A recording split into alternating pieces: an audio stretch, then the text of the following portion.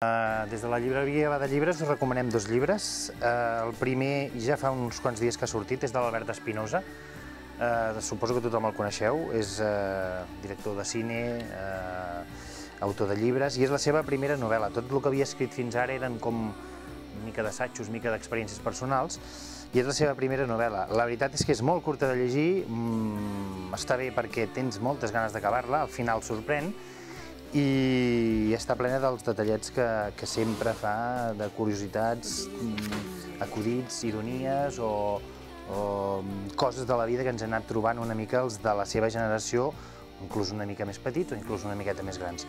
La història és una mica peculiar perquè hi ha un nano que, que només, mm, només mirant a la gent sap l'experiència més bona que ha passat i la més dolenta.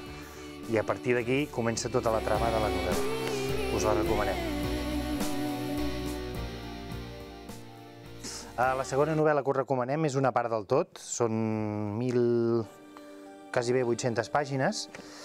Uh, és una novel·la que recorda molt el John Irving dels principis, no d'ara, sinó del, del principi de tot. Està plena de coses des d'aventures personals fins a fracassos, uh, aventures de circ, uh, bueno, una miqueta de tot. És d'un autor australià que ha viscut a mil i un països, inclús a Barcelona, i és la seva primera novel·la i és una novel·la d'aquelles que té trossos molt bons, trossos no tan bons, però la recomanem perquè com a, com a primera novel·la i com està traduïda al català doncs és una, una molt bona novel·la. Va guanyar el premi al el First Book Award de l'any passat, perdó, no va guanyar, va ser finalista, i hi ha una curiositat que és que al passar per Barcelona, dintre la novel·la, també inclús narra una final una final, un partit de futbol entre el Barça i el Real Madrid al Camp Nou.